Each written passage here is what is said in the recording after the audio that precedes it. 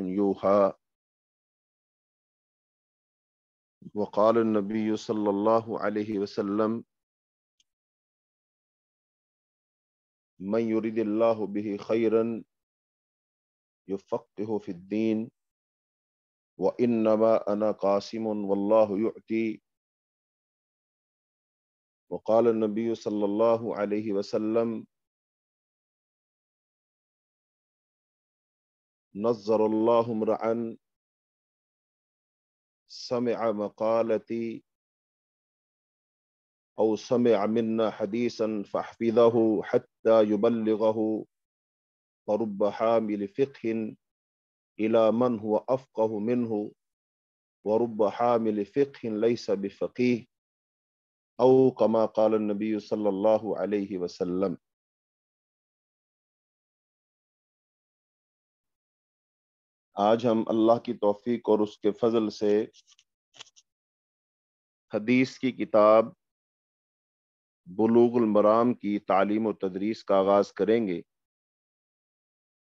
किताब का आगाज़ करने से पहले चंद बातों को जानना नागुजीर और ज़रूरी है। तो हम सबसे पहले आप सब लोगों को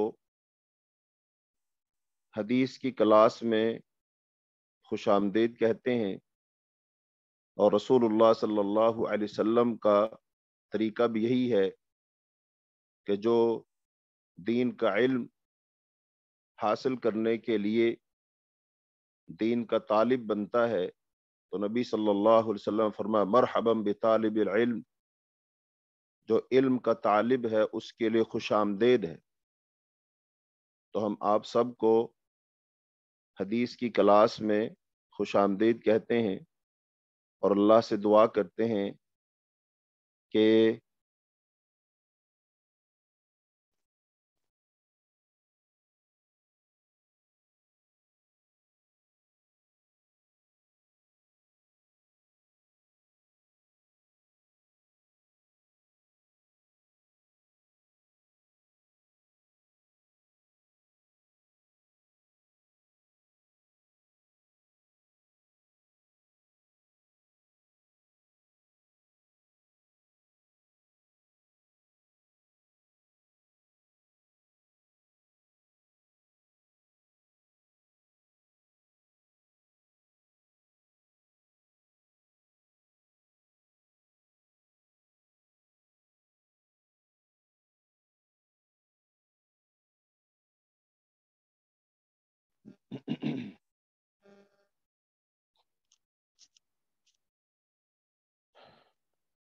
तो रसूलुल्लाह सल्लल्लाहु अलैहि वसल्लम ने तालब को खुश आमदेद कहा तो आपकी सुन्नत पर अमल करते हुए हम भी वही तरीका अपनाते हैं। और अल्लाह से दुआ करते हैं, अल्लाह ताला इस क्लास में हमारा आना, पढ़ना, पढ़ाना, वो अपनी बारगाह में कबूल फरमाए और इसको हमारी दुनिया आखरत की भलाई के लिए, इससे अल्लाह ताला हमारी दुनिया और आखरत को अच्छा कर दे और हमें अपने उन फर्मा बरदार नेकोकार बंदों में शामिल फरमा ले जिनसे वो राज़ी और खुश होता है। तो इसके बाद आज हम जिन चीज़ों को समझेंगे और समझाएँगे वो ज़रूरी है कि हदीस की किताब शुरू करने से पहले, नंबर एक, हम हदीस का लुगवी और इस्तलाही माना समझेंगे कि हदीस का लुगवी माना क्या है, हदीस लफ्स का माना क्या है और हदीस की असलाही तारीफ़ क्या है। ऐसे ही और ज़रूरत पर बात करेंगे। और तीसरी बात बात जो हमारी किताब है बुलूगुल मराम, किताब के बारे में, और कुछ किताब का जो मुसन्फ है, मुअल्लिफ है, उसका तारुफ आपके सामने पेश करेंगे। तो इसके बाद हम बात का आगाज़ करते हैं कि दीन इस्लाम इसका मंबा और मा Um...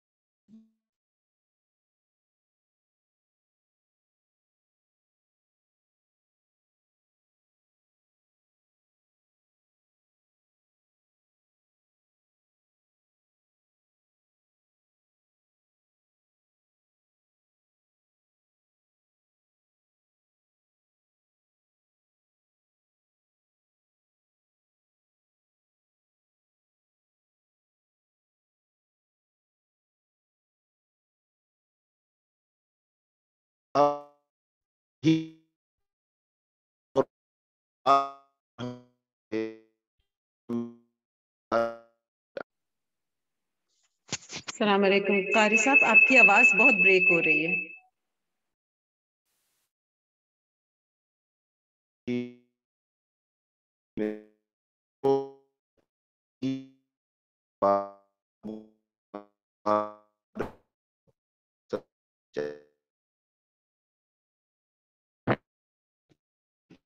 Bye.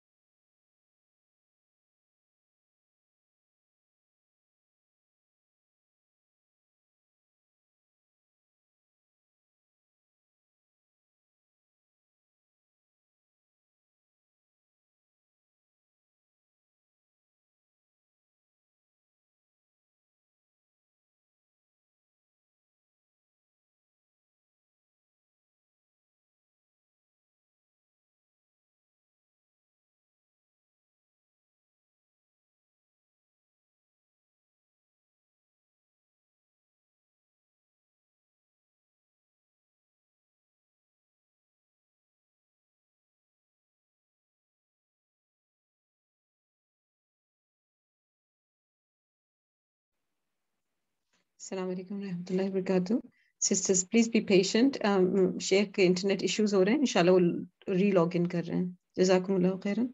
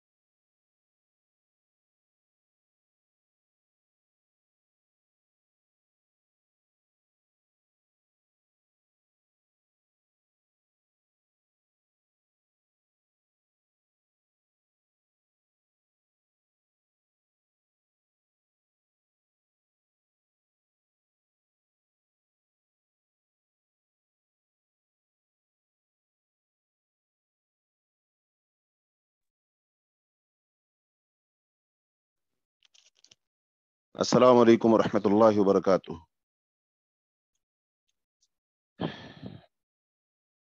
जी, हमारी बात यहाँ से मुनक़ हो गई थी कि रसूलुल्लाह सल्लल्लाहु अलैहि वसल्लम की ज़ात को हम समझेंगे। तो आप सल्लल्लाहु अलैहि वसल्लम की ज़ात के दो पहलू हैं। नंबर एक है आप सल्लल्लाहु अलैहि वसल्लम की ज़ात और एक है आप सल्लल्लाहु अलैहि वसल्लम का मनसब।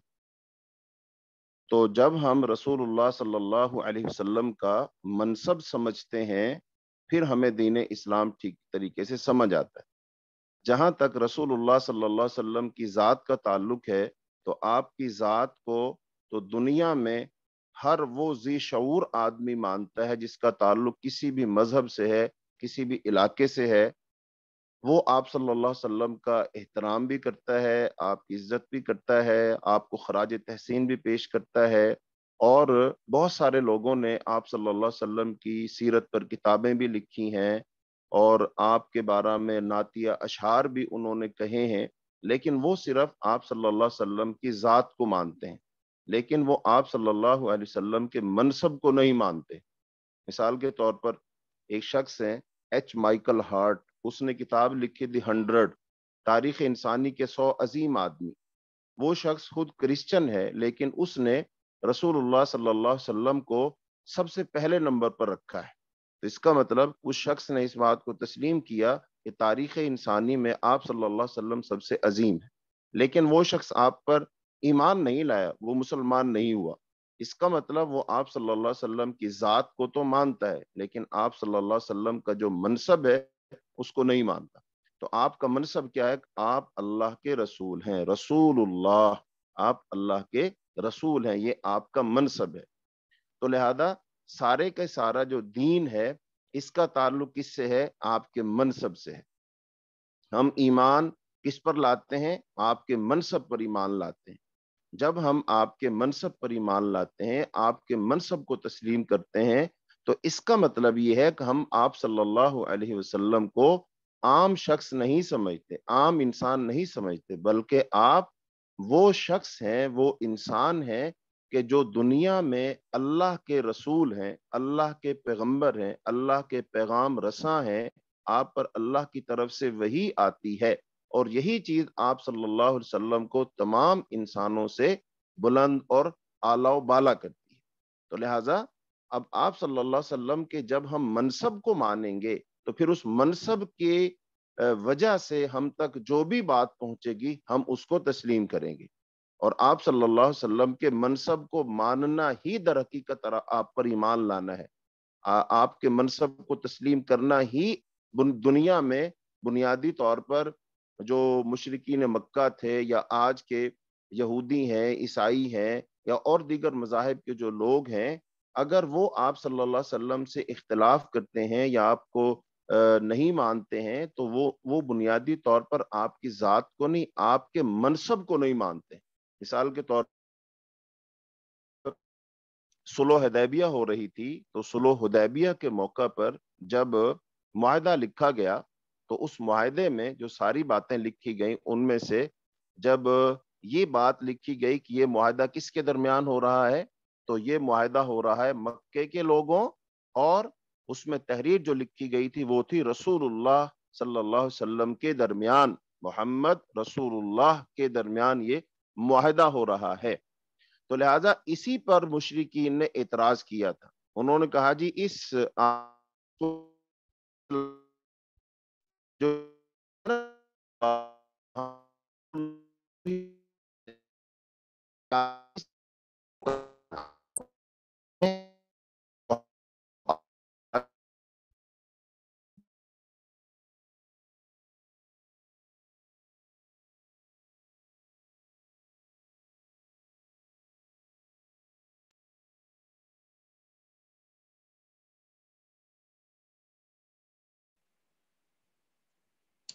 Assalamu alaikum.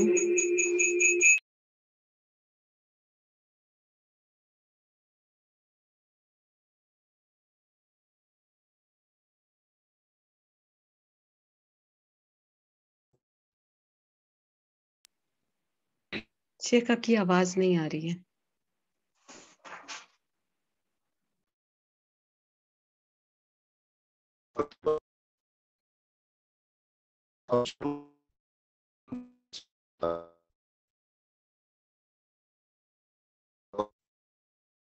đi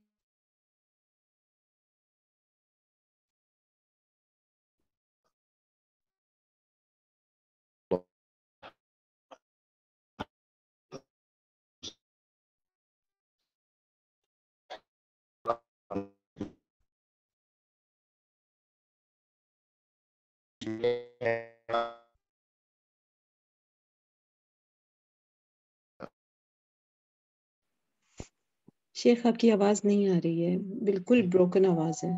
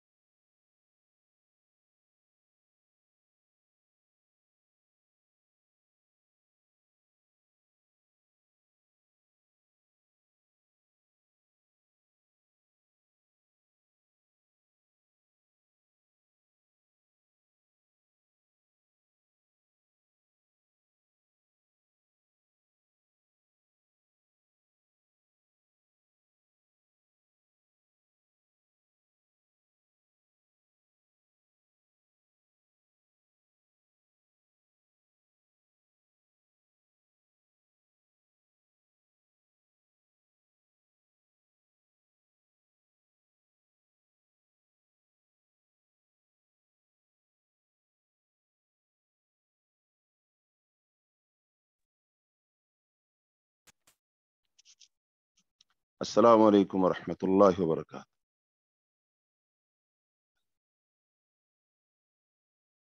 जी, आवाज़ अब आ रही है? अस्सलाम वालेकुम रहमतुल्लाहि व बरकात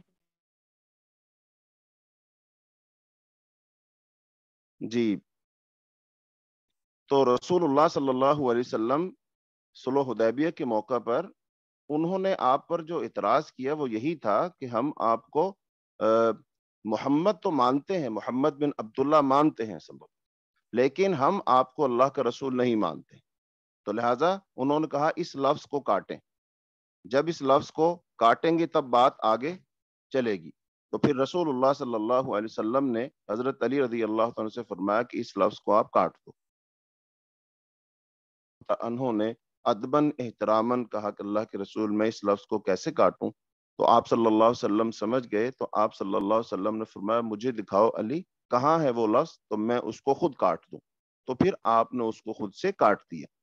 तो इसका मतलब है, अब जो आज एक मुसलमान अगर सिर्फ़ वो रसूलुल्लाह सल्लल्लाहु अलैहि वसल्लम की ज़ात का अदब करता है, एहतराम करता है, वो नात कहता है, और वो आप सल्लल्लाहु अलैहि वसल्लम के मनसब को नहीं मानता है, मनसब से मुराद अल्लाह के रसूल, और रसूल का मतलब आप अल्लाह का दीन लेकर आए हैं और आपने अल्लाह का दीन हम तक पहुँचाया है और वो दीन हमारे पास कुरान और हदीस की सूरत में मौजूद है तो वो बुनियादी तौर पर फिर आपके मनसब को नहीं मानता है। तो लिहाजा, जब तक हम अल्लाह के रसूल सल्लल्लाहु अलैहि वसल्लम के मनसब को नहीं मानेंगे, मनसब को तस्लीम नहीं करेंगे, उस वक्त तक बात बिल्कुल नहीं बनेगी।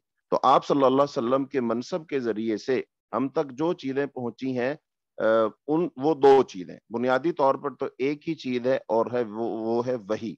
और वही जो है, हमारे दीन का खासा है कि हम तक अल्लाह के रसूल की वही सिर्फ़ पहुँच, हम पर हमारे पास अल्लाह की वही सिर्फ़ पहुँची ही नहीं, बल्कि अल्लाह ने उस वही को महफूज भी किया है। तो हमारे नज़दीक जो हदीस और सुन्नत है, ये भी मुनजल मिनल्ला वही है। और शरी इस्तलाह में वही से मुराद अल्लाह ताला का अपने मुंतखब अम्बिया कराम को अखबार अहकाम से खुफिया तौर पर मुतले करना है, जिससे इन्हें कति और यकीनी इल्म हो जाए।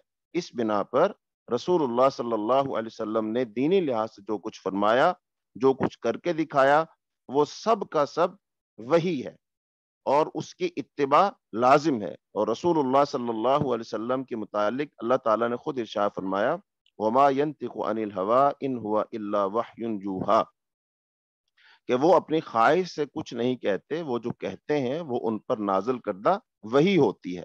और फिर नबी सल्लल्लाहु अलैहि वसल्लम ने इरशाद फरमाया, के बारे में अल्लाह ताला ने दूसरी जगह इरशाद फरमाया, इन अतबा इलैया। मैं तो उसी का इत्तिबा करता हूँ जो मेरी तरफ़ वही की गई है।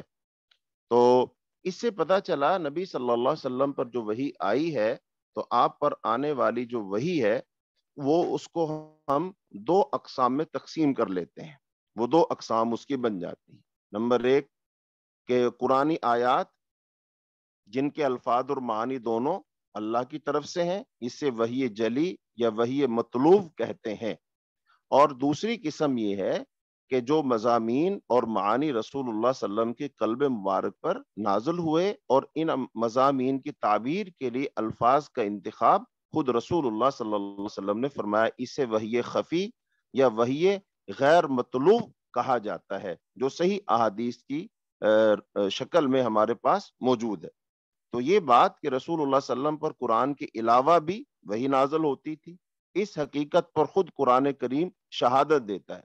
कुरान करीम में किसी मुंतखब नबी पर वही भेजने के तीन तरीके मशहूर हैं। अल्लाह ताला ने कुरान पाक में इसके बारे में इरशाद फरमाया फरमाया, वमा कान बशरिन अन युकल्लिमहुल्लाहु इल्ला वहयन औ मिन वराइ हिजाबिन युरसिल रसूलन फयूहिय मा यशा। और ये किसी भी बशर की शान नहीं कि अल्लाह इससे हम कलाम हो, मगर वही के तरीके पर या पर्दे की ओट से या किसी कासिद को भेज दे कि वो अल्लाह के हुक्म से जो चाहे बसूरत वही पैगाम दे जाए। तो इससे पता चला, नबी सल्लल्लाहु अलैहि वसल्लम पर हुई है और हदीस भी वही है। क्योंकि नबी सल्लल्लाहु अलैहि वसल्लम कोई भी बात बगैर दीन के मामला में, बगैर अल्लाह के हुक्म के, अल्लाह की वही के नहीं बोलते थे। तो इससे पता चला, नबी सल्लल्लाहु अलैहि वसल्लम का मुकाम मरतबा क्या है कि नबी सल्लल्लाहु अलैहि वसल्लम हम तक जो दीन पहुँचाया है, वो वही के ज़रिए से हम तक पहुँचाया है। तो लिहाजा अब आपके मनसब को तस्लीम करना, आपके मनसब को मानना मानना दर हकीकत यही अल्लाह के रसूल पर ईमान लाना है। तो जो अब अल्लाह के रसूल पर ईमान लाएगा, वो इस बात की गोया के आहद करता है कि मैं अलैहि वसल्लम के पर जो अल्लाह की तरफ़ से नाजिल होता है मैं उसको मानूँगा, मैं उस पर अमल करूँगा, मैं उसे तस्लीम करूँगा, मैं उसके मुताबिक ज़िंदगी गुजारूँगा तो वो शख्स इस बात का इकरार करता है अहद करता। है और यही बात है जो हम कलमा पढ़ते हैं, ला इलाहा मुहम्मदुर रसूलुल्लाह, के अल्लाह के सिवा कोई इबादत के लायक नहीं है और हज़रत मोहम्मद सल्लल्लाहु अलैहि वसल्लम अल्लाह के रसूल है। तो जब हमने आपको अल्लाह का रसूल तस्लीम कर लिया तो गोया कि हम ये बात मान रहे हैं कि आप इस दुनिया में अल्लाह के कासिद हैं। अल्लाह की जो मंशा है, अल्लाह की जो मर्ज़ी है, अल्लाह की जो पसंद है, अल्लाह की जो चाहत है, अल्लाह जो चाहता है, वो आप सल्लल्लाहु अलैहि वसल्लम हम तक पहुंचाएँगे और हम अल्लाह के बंदे हैं। लिहाजा हम आप सल्लल्लाहु अलैहि वसल्लम को अल्लाह का रसूल मानते हैं और अल्लाह, और आपके ज़रिए से जो भी बात हम तक पहुंचेगी, हम उस पर अमल करेंगे। तो अब जो नबी सल्लल्लाहु अलैहि वसल्लम पर वही नाजल हुई, वो कुरान की सूरत में है और फिर हदीस की सूरत में। अब कुरान और हदीस। अब कुरान जो है, वो बुनियादी तौर पर अल्लाह ताला का के अहकाम हैं उसमें, लेकिन अब वो अहकाम ऐसे हैं कि उन पर हमने अमल करना है। अब अमल करने के लिए नबी सल्लल्लाहु अलैहि वसल्लम ने खुद उन पर हमें अमल करके दिखाया। अब उनमें से कुछ चीज़ें गैर वाजे हैं, मुबहम हैं, उनका तरीका हमें कुरान पाक में नहीं बताया गया तो लिहाजा वो नबी सल्लल्लाहु अलैहि वसल्लम ने हमें बताया, समझाया, करके दिखाया तो वो हमें हदीस की कुतुब के अंदर मिलता है। तो अब इस तमहीद के बाद हम आते हैं जो हदीस है, हदीस का लुगवी माना क्या है, हदीस का इस्तलाही माना क्या है, ताकि हम अपनी बात को आगे बढ़ा सकें। तो हदीस जो है हदीस कहते हैं, अरबी में, उर्दू में वही मफहूम है लफ्ज हदीस का, जिसको हम कहते हैं बातचीत और गुफ्तगु। तो ये इसका लुगवी माना है, लफ्ज का माना है। और इस्तेलाह के अंदर इसका माना क्या है कि मुहदसिन ने जो मुकर किया मुहदसिन की असलाह में नबी करीम वसल्लम से जो कौल, फेल, तकरीर, जिस्मानी या अखलाकी सिफ तो जो मनकूल हो, उसको हदीस कहते हैं। इसको हदीस कहते हो। इसके अंदर कितनी चीज़ें आ जाएँगी? कौल, फेल और तकरीर और जिस्मानी या अखलाकी सिफ। ये चार चीज़ें इसके अंदर आ गई। तो अब कौल से मुराद क्या है? आप सल्लल्लाहु अलैहि वसल्लम ने जो बात भी इरशाद फरमा दी, उसको हम कौल कहते हैं। मिसाल के तौर पर बड़ी मशहूर हदीस है इन नमल अमालु बिन नियात अब ये आप सल्लल्लाहु अलैहि वसल्लम का फरमान है, ये आप सल्लल्लाहु अलैहि वसल्लम का कौल है कि अमाल का इनहिसार और मदार नीयत पर है, अमाल का दारो मदार नीयतों पर है। ऐसे आपने फरमाया वसीयत अली वारिसिन, के वारिस के हक में कोई वसीयत नहीं है। ये नबी सल्लल्लाहु अलैहि वसल्लम का हो गया कौल। तो फेल क्या है? तो फेल से मुराद, मसलन नबी सल्लल्लाहु अलैहि वसल्लम ने जो अफाल किए हैं मिसाल के तौर पर नमाजों की अदायगी है, हज का तरीका है, आपने रोजा रख कर दिखाया है तो ये सारी चीज़ें आ जाएँगी आपके अफाल के अंदर। तो ये हो जाएगी जो है, फेल हो जाएगा। कौल, फेल और तकरीर। तकरीर से मुराद वो तकरीर नहीं है जिसको हम आम समझते हैं, जैसे कोई खतीब तकरीर कर रहा होता है मुकर्र तकरीर कर रहा होता है ये इससे मुराद नहीं है, बल्कि इससे मुराद क्या है? तकरीर से मुराद ये है कि आप सल्लल्लाहु अलैहि वसल्लम की मौजूदगी में जो काम किया गया हो और आपने इस पर खामोशी इख्तियार की हो, आपने इस पर खामोशी इख्तियार की हो, उस काम से मना ना किया हो, उसको आपने नापसंद ना फरमाया हो तो उसको हम कहते हैं तकरीरी हदीस। तो लिहाजा अब ये तीन किस्म की हदीस हो गई, कौली हदीस फेली हदीस, तकरीरी हदीस। कौल जो आपने इर्शा फरमाया, हदीस फेल वो जो आप सल्लल्लाहु अलैहि वसल्लम ने काम करके दिखाया, तकरीर, वो हदीस जो आप सल्लल्लाहु अलैहि वसल्लम के सामने काम किया गया, लेकिन आप सल्लल्लाहु अलैहि वसल्लम ने उसको देखा और देखने के बाद आप खामोश रहे। तो लिहाजा ये तीन किस्म की अहादीस हो गई। तो लिहाजा अब ये तीनों किस्म की अहादीस से हमें, हम तक इस्लाम पहुँचा है। आप सल्लल्लाहु अलैहि वसल्लम ने कुरान पाक की तोज़ी और तशरी फरमाई है। तो ये तीनों किस्म की अहादीस हमें कुतब अहादीस के अंदर मिलेंगी। तो ये हदीस का लुगवी और असलाही माना हो गया। अब जो हदीस है पढ़ने की, अब जो पढ़ने की नबी सल्लल्लाहु अलैहि वसल्लम ने खुद इसकी फजीलत फरमाई है कि जो शख्स हदीस पढ़ता है, अल्लाह के यहाँ उस बंदे की क्या फजीलत है? अल्लाह पाक उसको क्या अता फरमाता है? बंदे का ये फेल अल्लाह के यहाँ किस कदर कीमती है, अल्लाह इससे कितना खुश और राज़ी होता है। तो इसके बारे में खुद रसूलुल्लाह सल्लल्लाहु अलैहि वसल्लम ने इरशा फरमाया। एक हदीस में आप सल्लल्लाहु अलैहि वसल्लम ने इरशा फरमाया, अल्लाह ताला उस बंदे को तरोताज़ा रखे। नज़र अल्लाह अल्लाह ताला उस आदमी को तरोताज़ा रखे, अल्लाह ताला उस आदमी को खुश खुरम और शादाब रखे, जिसने हमसे कोई हदीस सुनी फिर इसे हिफ्स किया और उसको याद रखा ताकि इसे वो पहुँचाए, आगे पहुँचाए। चूँकि बहुत से इल्म फ़िका के हामिल अपने से बढ़कर ज़्यादा दाना और फ़की लोगों को पहुंचाते हैं और जिससे इल्म फ़िका के हामिल ऐसे होते हैं जो दर हकीकत दाना और फ़की नहीं होते। तो इस हदीस में नबी सल्लल्लाहु अलैहि वसल्लम ने शाह फरमाया, अल्लाह ताला उस आदमी को खुश खुरम रखे, उसको तरोताज़ा रखे उसे हंसाता, मुस्कुराता हुआ रखे अल्लाह उसे शादाब रखे कि जो हमारी हदीस को सुनता है और फिर उसे हिफ्स करता है, फिर उसे याद रखता है और फिर उसे आगे पहुंचाता है। तो जो भी लोग दुनिया में हदीस पढ़ते हैं, वो सब के सब लोग नबी सल्लल्लाहु अलैहि वसल्लम की इस दुआ के मुस्तहिक हैं। और दुनिया में अगर आज हम देखें तो बहुत सारे गम हैं, बहुत सारी परेशानियाँ हैं, बहुत सारी तकलीफ़ों में इंसान मुबतला है। तो अगर हम देखें तो हमारी मुश्किलात का एक हल क्या है? नबी सल्लल्लाहु अलैहि वसल्लम की अहादीस को पढ़ना। एक तो इन अहादीस को पढ़ने से, समझने से ही हम इस दुआ के मुस्तक बन जाएँगे और जो कसर रह जाएगी, जब हम इन अहादीस पर अमल करेंगे, फिर अल्लाह ताला हमसे राज़ी और खुश हो जाएगा। तो बाकी जो परेशानियाँ होंगी, अल्लाह ताला अपने फजल से वो इन पर अमल करने से फरमा देगा।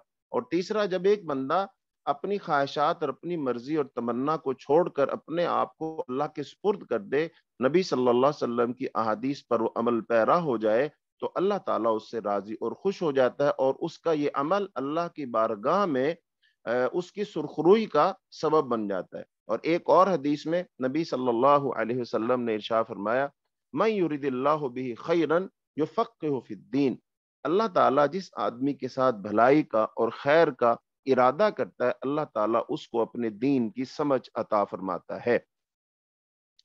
अब अल्लाह रब्बुल आलमीन इसी शख्स के साथ अगर खैर और भलाई का इरादा फरमाए तो अल्लाह रब्बुल आलमीन उसको क्या अता फरमाता है? ये काबिल गौर बात है। अल्लाह के पास तो हर चीज़ के खजाने मौजूद हैं, मालो दौलत मौजूद है, सोना चांदी मौजूद है, दिरहमो दिनार जो भी दौलत की कोई शक्ल है, अल्लाह के पास मौजूद है। फिर अल्लाह के पास ओहदे हैं, मनसब हैं, हुकूमतें हैं। अल्लाह के पास ही है सब कुछ। जैसे कि कुरान पाक में अल्लाह ताला फरमाया व तो इज़्ज़ तशा व तो ज़िल्ल तशा अल्लाह जिसको चाहता है इज़्ज़त देता है, जिसको चाहता है जिल्लत देता है, जिसको चाहता है अल्लाह हुकूमत अता फरमा देता है, जिससे चाहता है अल्लाह हुकूमत छीन लेता है। तो ये सब कुछ अल्लाह के कब्जा कुदरत में है।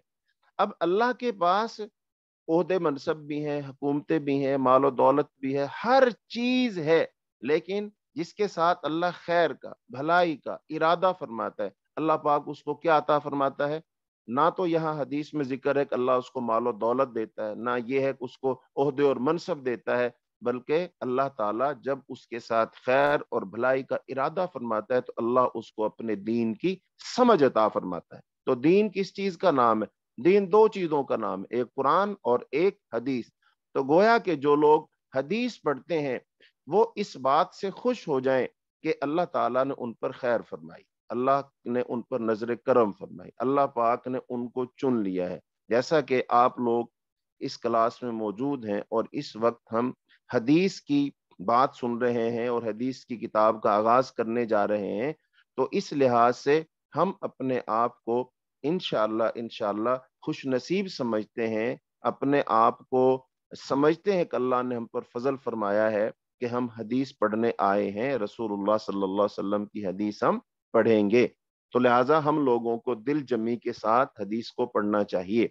और एक हदीस में नबी सल्लल्लाहु अलैहि वसल्लम ने इरशाद फरमाया कि जो बंदा अपने घर से दीन पढ़ने निकलता है, हदीस पढ़ने निकलता है तो उसकी फजीलत क्या है? नबी सल्लल्लाहु अलैहि वसल्लम ने इशा फरमाया कि वो जब मन सलक तरीकन यतलबफ़ी सलक अल्लाह बिही तरीक मिन तुरुकिल व इन्नल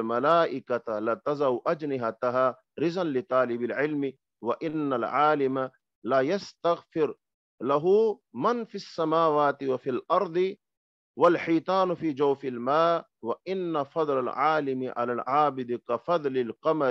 लैलतिल बद्र अला साइरिल कवाकिबि व इन्नल उलमा वरसतुल अंबिया व इन्नल अंबिया अलम युवर्रिसु दीनारन वला दिरहमन व इन्नमा वर्रसुल इल्म फमन अखजहु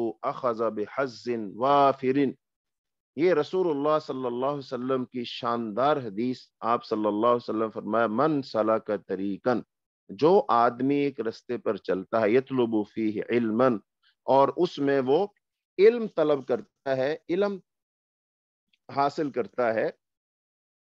तो फरमाया, वो आदमी जन्नत के रास्तों में से एक रास्ते पर चल पड़ता है। वह इन मलाइकत, और बेशक फरिश्ते लताजाओ रख देते हैं। अजनहतहा अपने परों को रिजल तालब तालब इलम की रजा हासिल करने के लिए। तालब इलम की रजा हासिल करने के लिए फरिश्ते अपने पर रख देते हैं। फरमाया, व इन आलिमा लहू, और जो आलिम है, जो दीन का इल्म हासिल करता है, कुरान और हदीस पढ़ता है, फरमाया, उसके लिए जो कुछ आसमानों में है और जो कुछ ज़मीन में है, वो उसके लिए बख्शिश मांगती है। अब आसमानों में कितने फरिश्ते हैं? वो फरिश्ते उसके लिए बख्शिश मांगते हैं। और ज़मीन में कितनी किस्म की मखलूक़ात हैं? वो चौपाए हैं, वो परिंदे हैं, वो रेंगने वाले, वो उड़ने वाले, वो हत्या के आप सल्लल्लाहु अलैहि वसल्लम ने शाह फरमाया, वल हैतान फ़ी जोफिल मा और मछलियाँ पानी में, यानी आपने ये फरमाया कि मछलियाँ जो पानी में है, अब मछलियाँ कितनी हैं और कितनी बड़ी बड़ी होती हैं, वो सारी की सारी मछलियाँ, फरमाया, वो तालब इलम के लिए वो बख्शिश की दुआ मांगती, बख्शिश की दुआ मांगती उसके लिए। फरमाया, वह इन फजल आबिदी, और एक आलिम की फजीलत आबिद पर, आलिम इलम वाला और आबिद इबादत करने वाला। तो एक आलिम की फजीलत आबिद पर कैसे है? कफजल कमरी अला कफजल कमरी लतिल बदरी अला कवाकिब। जैसे आसमान पर तारे निकले हों और चौदहवीं का चाँद जब तुलु हो जाए तो चौदहवीं का चाँद सबसे बड़ा भी होता है, उसकी रोशनी भी सबसे ज़्यादा होती है। तो ऐसे ही जो इबादत करने वाले लोग होंगे, वो होंगे, वो तारों की मानद। और जो आलिम होगा, जिसने हदीस को पढ़ा है, हदीस का इल्म हासिल किया है, हदीस को हिफ्स किया है, हदीस को समझा है, हदीस में फ़िका हासिल तफक्को हासिल किया है, वो उस चाँद की मानद होगा। फिर आप सल्लल्लाहु अलैहि वसल्लम शाह फरमाया व अंबिया। जो उलमा हैं जो इल्म वाले लोग हैं, वो अम्बिया के वारिस हैं। व इन्नल अंबिया और जो अम्बिया होते हैं, लम युवर्रिसु दीनार वला दिरहमन, ना तो वो वरासत में दीनार छोड़ते हैं, ना दिरहम। इन नमा बेशक वो तो वर रसुल इल्म, वो तो वरासत में इल्म छोड़कर जाते हैं। फमन अखजहु अखजब हसन वाफिरिन, और जिसने उनका वो छोड़ा हुआ इल्म हासिल किया तो उसने कामिल पूरा हिस्सा ले लिया। तो अब इस हदीस से ये जो इल्म पढ़ने वाले लोग हैं, हदीस पढ़ने वाले लोग हैं, उनकी फजीलत साबित होती है। तो लिहाजा ये जो लोग अपने घरों से निकले या अपने घरों में बैठे, इस वक्त जैसा कि हम घरों से तो नहीं निकले, लेकिन हम तो अपने घरों में बैठे लेकिन हमारा बैठना किस लिए है? वो अल्लाह का दीन हासिल करने के लिए, वो हदीस का इल्म हासिल करने के लिए है। तो लिहाजा ये बड़ा मुबारक है बैठना। इस वक्त बैठे हुए लोग तो हैं, बहुत सारी जगहों पर लोग बैठे होंगे, लेकिन वो इस मुबारक अमल के लिए नहीं बैठे। आप यूँ कह लीजिए, दुनिया में इस वक्त कोई भी मजलिस है वो कोई कारोबारी मजलिस है, वो कोई सियासी मजलिस है, वो कोई खेल तमाशे की मजलिस है, वो कोई शादी ब्याह की तकरीब है, वो कोई भी तकरीब है दुनिया में, लेकिन उन मुबारक तकरीबात में इज्तमात में सबसे मुबारक इज्तम वो है, जहाँ पर अल्लाह की और अल्लाह के रसूल की बात हो रही है, जहाँ पर हदीस पढ़ी और पढ़ाई जा रही है। तो इस लिहाज से अल्लाह पाक ने हम सबको ये सादत अता फरमाई है कि हम भी इस वक्त रसूलुल्लाह सल्लल्लाहु अलैहि वसल्लम की हदीस की मजलिस में मौजूद हैं। अल्लाह ताला इसको अपनी बारगाह में कबूल फरमाए। तो लिहाजा हदीस पढ़ने की बहुत सारी फजीलतें हैं तो इस वक्त हम इन ही अहादीस पर इक्तफा करेंगे कि नबी वसल्लम की हदीस पढ़ने की बहुत फजीलत है। तो ये बहुत मुबारक अमल है, जिस अमल के लिए आज हम जमा हुए हैं। लेकिन एक बात का ख्याल रखा जाए कि शैतान जो है, वो ज़ाहिर बात है हम सब के पीछे है। अगर उस शैतान को इस वक्त सबसे बुरी बात अगर कोई लग रही है तो वो यही है कि लोग किसी जगह पर जमा हो और वो दीन पढ़ें और दीन समझें और उसके मुताबिक ज़िंदगी गुजारें और फिर शैतान को और शैतानी कामों को वो पहचाने और उनको तरक कर दें और उनको छोड़ दें। शैतान के चुंगल से निकल आए। तो लिहाजा ये बात शैतान को सबसे बुरी लगेगी। तो शैतान इतना जालिम है, वो इंसान के दिल में बहुत सारे वसवसे दिलाता है ख्याल दिलाता है।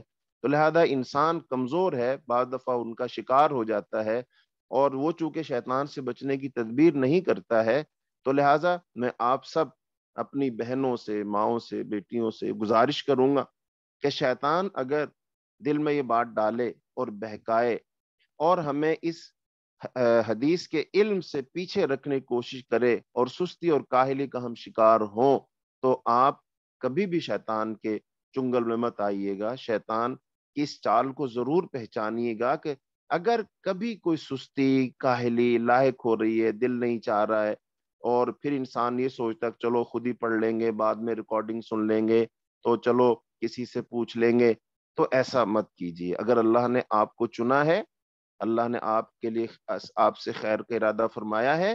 खैर आपके दरवाजे पर है। आप लोगों ने इसके, इस खैर को हासिल करने के लिए कदम उठाया है। तो इसको, कदम को आगे से आगे बढ़ाइए। पीछे मत मोड़िए। शैतान की किसी भी उस उलझाव का शिकार मत होइए। तो अब रसूलुल्लाह सल्लल्लाहु अलैहि वसल्लम की हदीस की अहमियत क्या है? ज़रूरत क्या है? अब इस पर थोड़ी सी बात हम कर ले। देखें, इंसान से अमल मतलूब और मकसूद है। इस्लाम अमल का दीन है। अल्लाह ताला कुरान पाक में शाह फरमाते हैं तबारकल्लदी बियदिहिल वहु अला कुल्ली शैइन कदीर। अल्लजी अय्युकुम अहसनु अमला। कि अल्लाह पाक ने ये मौत हयात को इसलिए पैदा फरमाया ताकि वो देखे तुम में से अच्छे अमल करने वाला कौन है। अच्छा अमल किसका होगा? अच्छे अमल की क्या तारीफ़? अच्छे अमल का क्या मैार है? मसला नमाज़ ही देख लीजिए, नमाज़ है, रोजा है, हज है, जक़ात ये सारे अमाल हैं और ये करने वाले बहुत सारे लोग हैं। लेकिन बहुत सारे लोग हैं, उन सारे नमाजियों की नमाजें कबूल नहीं होती। सारे हाजियों के हज कबूल नहीं होते, सारे रोजेदारों के रोज़े कबूल नहीं होते। किसके रोज़े कबूल होते हैं? जिसका रोजा, जिसकी नमाज़, जिसका हज, जिसके हर नेकी, वो उसके लिए एक मॉडल और एक नमूना है। और वो कौन है? वो रसूलुल्लाह सल्लल्लाहु अलैहि वसल्लम की जात है। तो जिसकी नमाज़, जिसका रोजा, जिसका हज, नबी सल्लल्लाहु अलैहि वसल्लम के हज से, नमाज़ से, रोज़े से मैच खा गया। उसके जैसा हो गया। हाँ उसका, उसकी नमाज़, उसका रोजा और वो सारे अमाल अल्लाह की बारगाह में कबूल हो जाएँगे, चूँकि वो अच्छे अमाल हो गए। वो अच्छे के पैमाने पर पूरे उतर आए। लेकिन जिस आदमी की नमाज़ नमाज़ तो उसने पढ़ी, वक्त तो उसने दिया, लेकिन अगर उसकी नमाज़ रसूलुल्लाह सल्लम के तरीके के मुताबिक ना हुई तो फिर उसकी नमाज़ क्या नमाज़ हुई? नहीं, उसकी नमाज़ नमाज़ नहीं हुई। कुरान पाक में अल्लाह ताला ने कई जगह पर यह बात इर्शा फरमाई है। जैसा कि अल्लाह ताला ने फरमाया, हल अता का हदीसुल गाशिया, वजूह यौमजिन खाशिया, आमिलतुन नासिबा तसला नारन हामिया। क़यामत के दिन कुछ लोग ऐसे भी आएँगे कि जिनकी पेशानियाँ अमल कर करके थक गई होंगी, खास तौर पर पेशानी का ज़िक्र है। तो पेशानी, हम सजदा करते हैं ना पेशानी से। तो पेशानियाँ थक चुकी होंगी अमल कर करके, लेकिन उनको कहा जाएगा कि इनको जहन्नम में दाखिल कर दो। वो जहन्नम में चले जाएँगे लोग। अब वो सवाल ही पैदा होता है, जहन्नम में क्यों जाएँगे? और ऐसे ही नबी अल्लाह ताला ने कुरान पाक में दूसरी जगह शाह फरमाया यादीन आमन अती व अती रसूल, वला तुबतिलु अमालकुम। ईमान वालो, अल्लाह की अतात करो और अल्लाह के रसूल की अतात करो और अपने अमलों को बर्बाद मत करो, अपने अमलों को जाया मत करो। इसका मतलब इस आयत से क्या पता चला कि अमल करने वाला अमल तो कर रहा है, लेकिन वो अमल भी कर रहा है और अपने अमल को जाया भी कर रहा है। तो बताइए, जब उसका अमल ही जाया हो गया फिर उसके अमल करने का फ़ायदा क्या हुआ? उसको तो माँ सिवाय थकावट के और कुछ मिलेगा नहीं, क्योंकि उसका अमल जाया हो गया। अब सवाल ये पैदा होता है कि भाई, उसका अमल क्यों जाया हो रहा है? उसका अमल क्यों कबूल नहीं हो रहा? उसका अमल उसके लिए बायस निजात क्यों नहीं बनेगा? उसके अमल का उसको अजर स्वाब क्यों नहीं मिलेगा? ये सवाल है। तो इसका जवाब अलैहि वसल्लम ने दिया, मन आमिला अमलन लैसा अलैहि अमरुना फहुव रद्दुन। जिस आदमी ने कोई अमल किया और उसका वो अमल हमारे तरीके, हमारे हुक्म के मुताबिक ना हुआ तो उसका वो अमल रद्द है, उसका वो अमल मरदूद है, उसका अमल वो जाया है। लिहाजा हर मुसलमान को ये चाहिए कि वो अमल करने से पहले क्या करे? वो वो काम करे जिसकी वजह से उसका अमल जाया ना हो, और वो एक ही चीज़ है। इस चीज़ को नोट कर लीजिए और वो क्या चीज़ है? वो है इल्म। इल्म हासिल करना। जब हम इल्म हासिल करेंगे, वो इल्म हमें बताएगा कौन सा अमल अच्छा है, कौन सा अमल अच्छा नहीं है। कौन सा अमल कबूल है, कौन सा अमल कबूल नहीं है। और वो इल्म हमें कहाँ से मिलेगा? वो कुरान से मिलेगा, वो हदीस से मिलेगा। इसलिए इमाम बुखारी अलैह ने अपनी सही बुखारी के अंदर, किताबुल इल्म के अंदर एक बाब कायम किया और वो बाब क्या है? अल इल्म कबल अल कौल अमल। इस चीज़ का बाब, जिसमें इस चीज़ का बयान है कि कौल और अमल से पहले इल्म हासिल करना। कोई भी कौल, अब कौल, जिससे हम कौल, बात, चीत तस्बी ज़िक्र, अजकार, कुछ भी हम करें, लिहाजा उससे पहले इल्म हासिल किया जाए। और कोई भी हम अमल करें तो उस अमल से पहले इल्म हासिल किया जाए। और अगर कोई शख्स अमल करे, वो कौली हो, वो फेली हो और उसने इल्म ना हासिल किया हो तो उसका वो अमल अमल बनेगा ही नहीं। उसका वो अमल अच्छा अमल बनेगा ही नहीं। इसीलिए अल्लाह ताला ने कुरान पाक में शाह फरमा ए नबी, ए पैगंबर, तू इस बात को जान कि अल्लाह के सिवा कोई इबादत के लायक नहीं। यानी तू इस बात का इल्म हासिल कर। ऐसे ही फरमाया अल्लाह ताला इन नमा यक्षल्लाह मिन इबादिही अल अल्लाह के बंदों में से सबसे ज़्यादा डरने वाले लोग कौन होते? हैं जो इल्म वाले होते। हैं फिर अल्लाह ताला ने कुरान में शाह फरमाया, हल ला यअलमून? कि जो लोग इल्म वाले हैं और जो इल्म वाले नहीं है, क्या वो बराबर हो सकते हैं? तो वो तो बराबर नहीं हो सकते। अब इस हदीस की तोजी और तशरी जब हम देखते हैं, वो सहाबा कराम ने, वो मुहदसिन ने वो ताबीन ने, तबा ताबीन ने, बुजुर्गान दीन ने, अल्लाह के नेक बंदों ने, अब जो वो इस हदीस को समझा है और इस हदीस की तोजी और तशरी की है, वो क्या है? कि कौल और अमल से पहले इल्म होना चाहिए। तो मकसद ये है कि कौल और अमल के सही होने के लिए इल्म शर्त है। और इल्म नहीं तो इन दोनों का कुछ एतबार नहीं। चुनाचे इल्म पहले है क्योंकि कौल और अमल के अलावा इन दोनों की नीयत भी इसके बगैर दुरुस्त नहीं होती। तो इमाम बुखारी रहमतुल्लाह ने ये तंबी की है। तंबी इसलिए फरमाई है कि जो आम मकूला है ना, कि इल्म के बगैर, अमल के बगैर इल्म का कोई फ़ायदा नहीं। तो इससे किसी के दिल में इल्म की बेकदरी पैदा ना हो जाए और आदमी इस नेमत की तलब से महरूम ना रह जाए। तो लिहाजा इल्म हासिल करना बहुत ज़रूरी है। तो ये जो हम किताब पढ़ेंगे, बुलूगुल मुराम, ये बुनियादी तौर पर वो इल्म है जो रसूलुल्लाह सल्लल्लाहु अलैहि वसल्लम ने उम्मत को दिया है। और इसके अंदर तमाम वो चीज़ें बयान कर दी गई हैं। इसके अंदर तहारत भी है, इसके अंदर नमाज़ भी है, इसके अंदर हज भी है, जक़ात भी है। तमाम वो मसाइल जो एक आदमी को अपनी ज़िंदगी में पेश आते हैं तो उनके बारे में रसूलुल्लाह सल्लल्लाहु अलैहि वसल्लम की अहदीस इसके अंदर ज़िक्र कर दी गई है। तो ये बड़ी जाम किताब है, बड़ी शानदार किताब है और इसकी जामियत की वजह से ही इसको अरबो अजम में तमाम मदारस के अंदर तकरीबन तकरीबन इसको इब्तदाई तौर पर पढ़ाया जाता है और फिर इसकी जो है, बहुत सारी शुरुआत लिखी गई हैं। इसी वजह से कि ये किताब बहुत नाफे है और हाफिज इबन हजर रहमत ने इस किताब को जो लाखों हदीसों में से इन अहदीस का इंतखब किया है और फिर इनको जमा किया है ताकि एक शख्स के लिए अहकाम की अहदीस को जमा कर दिया जाए। इसका जो नाम है, नाम से ही वाजे होता है, बुलूगुल मराम मिन अदिल्लतिल अहकाम। बुलूग का मतलब होता है पहुँचना और मराम कहते हैं मकसद को। तो मकसद को पहुँचना कैसे? मिन अदिल्लतिल अहकाम अहकाम की दलीलों के साथ।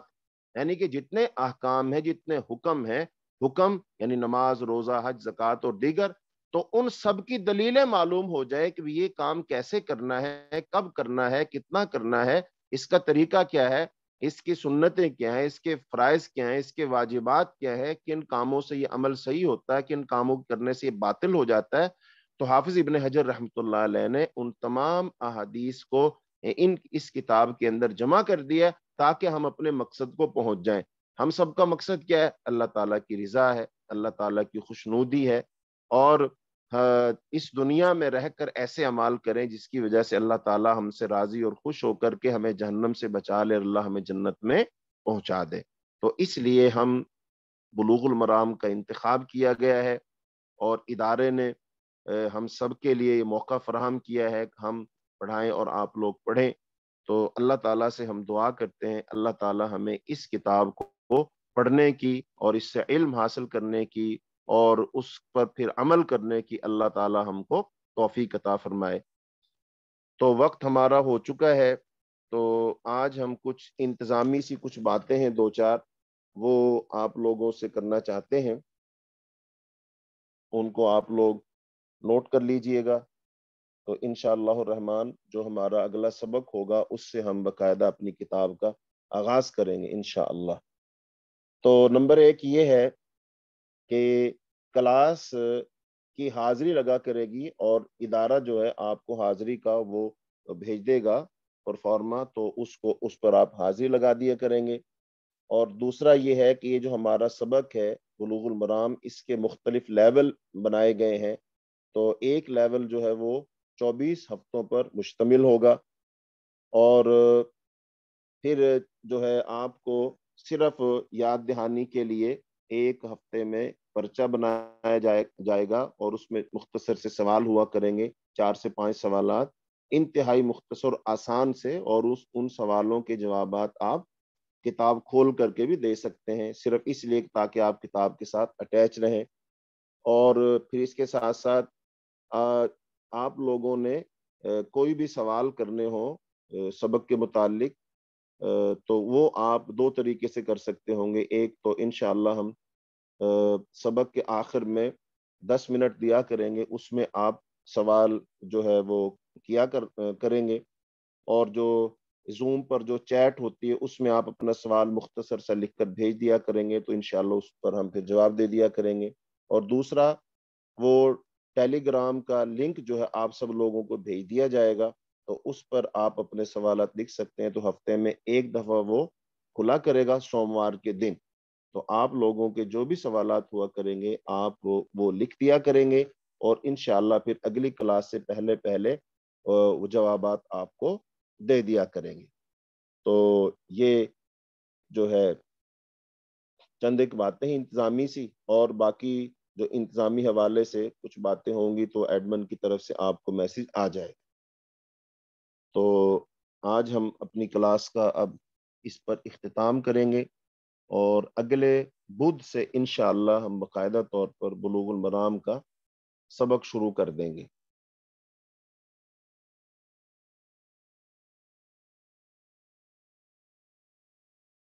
जी, अगर कोई आप लोग सवाल करना चाहते हैं तो वो कोई सवाल आप कर सकते हैं।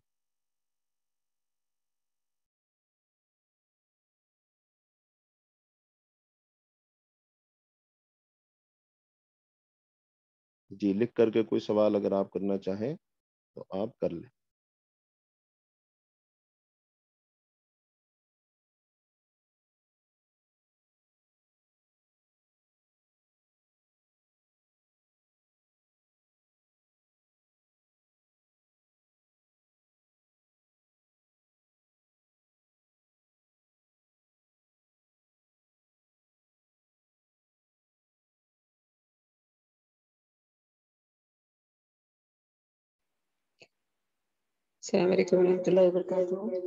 वालेकुम अस्सलाम वरहमतुल्लाहि वबरकातुहू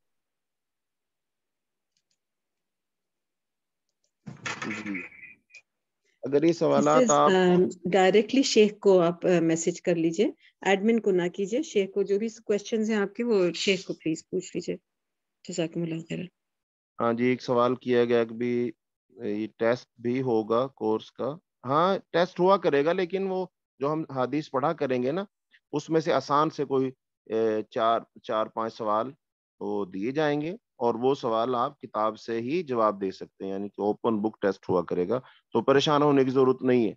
आप में से अगर कुछ लोग बहुत मसरूफ हैं अपने काम काज में तो अगर कोई टेस्ट नहीं भी देगा तो खैर है तो कोई ऐसी बात नहीं है, लेकिन ये सिर्फ़ इसलिए है कि आप किताब से जुड़े रहेंगे, देखेंगे तो इन रहमान वो फ़ायदा हो जाएगा।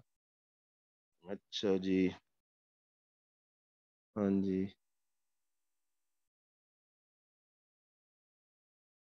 अस्सलाम वालेकुम रहमतुल्लाहि व बरकातहू जी जी, ठीक है। जज़ाकल्लाह खैर।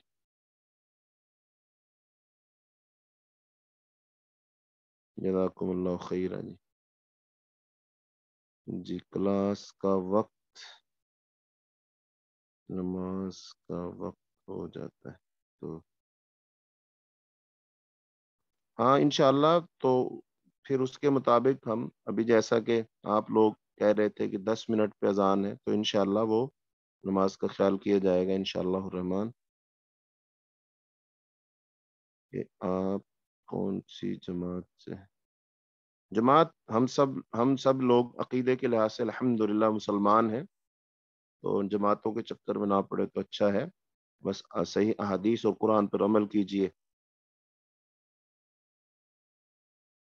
हाँ जी, एक घंटे का वक्त होगा हमारी क्लास का इनशाला तो उसके अंदर हम कोशिश करेंगे अपने सबक को भी समेटें। सवाल जवाब भी इनशाला उसी के अंदर अंदर किया करेंगे इनशाला आज तो चूँकि आप लोगों ने देखा वो थोड़ा सा नेट का मसला बन गया तो इनशाला उसको हल कर लेंगे इनशाला हाँ जी। हाँ हाँ आप इनशाला सीख जाएँगे जी, इलम सीख जाएँगे, अल्लाह ताला तौफीक देगा। बस जुड़े रहिएगा, शैतान का शिकार मत होइएगा तो इनशाला अल्लाह हमारी मदद फरमाएगा और हम ज़रूर इल्म सीखेंगे इनशाला अल्लाह अपने बंदों की मदद करता है। अल्लाह आसानी फरमाएगा हमारे लिए इनशाला वल्लजीन जाहदूफ़ीना सुबुलना। जो अल्लाह के लिए कोशिश करते हैं, अल्लाह उनके लिए रास्ते खोलता है इनशाला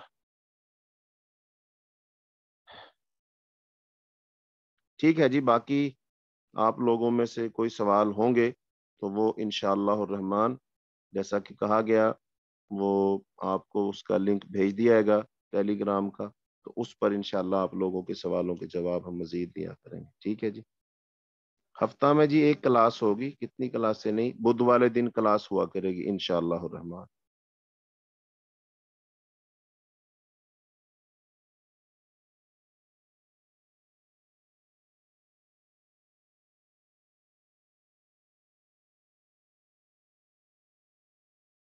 जजाकल्ला खैर जी रमज़ान के बाद। हाँ जी, अल्लाह पाक इदारे को जदाय खैर दे, दानियाल भाई को जदाय खैर दे। इन्होंने मौका दिया आप लोगों को पढ़ने का, हमें पढ़ाने का। तो इन जी साथ रहेगा और सीखने का मौका मिलेगा इन रहमान। हाँ बुक भी इनशाला वो बुलूगुल मराम की जो बुक है, वो आप लोगों को इन रहमान इदारे की तरफ़ से वो अरबी जो नुस्खा है वो सेंड कर दिया जाएगा इनशाला क्लास का टाइम, ये एडमिन से बात कर सकते हैं, आप वही बता सकते हैं टाइमिंग के बारे में तो। जी। ठीक है जी।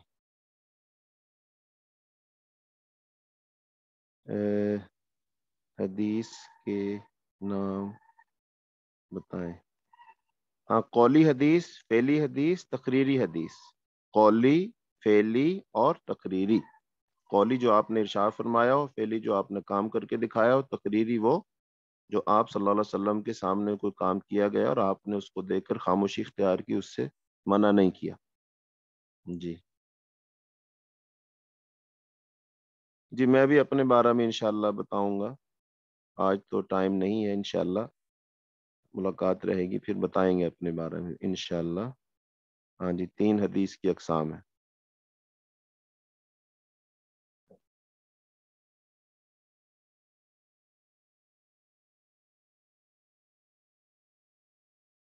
जी। हाँ जी, क्लास हफ़्ते में जी एक दिन होगी।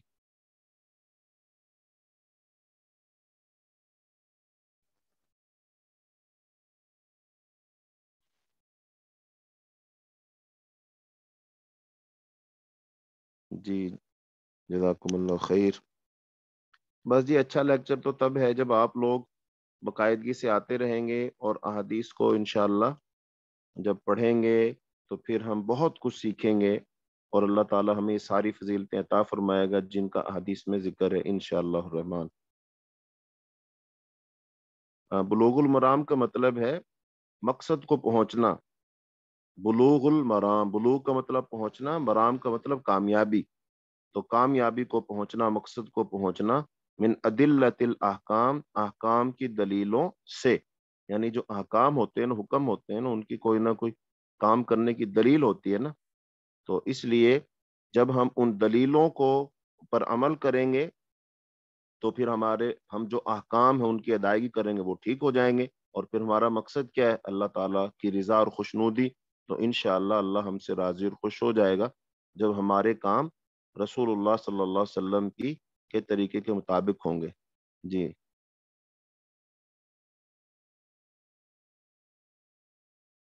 आई एम नॉट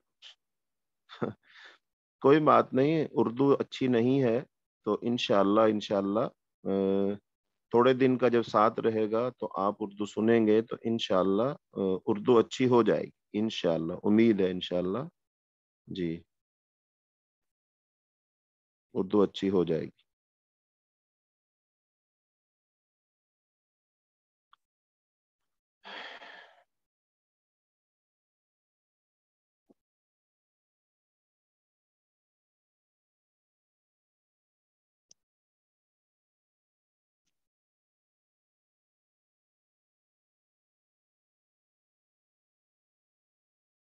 ठीक है जी, अब हम क्लास का अख्ताम करते हैं।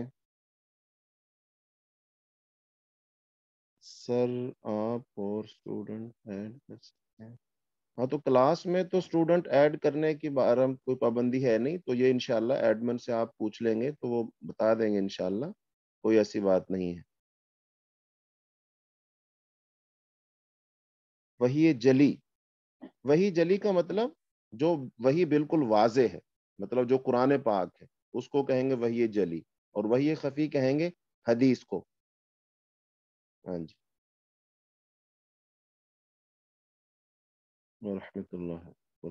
उम्मान। रोमन, उर्दू प्लीज़ कोई बात नहीं, अगर सही उर्दू में लिख देंगे तो आसानी हो जाएगी, रोमन उर्दू में लिखेंगे तो थोड़ी सी मुश्किल होगी, लेकिन इनशाला जैसे समझ आएगी, फिर वैसे इनशाला जवाब दे देंगे। हाँ जी।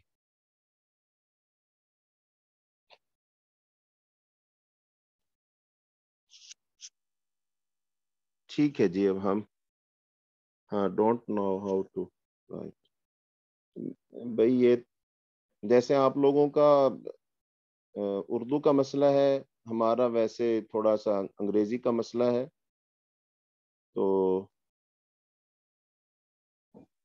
तो जो अंग्रेज़ी वाले अहबाब हैं, वो ज़रा इफ़ाम तफ़ीम से ही बात चलेगी फिर इन रहमान।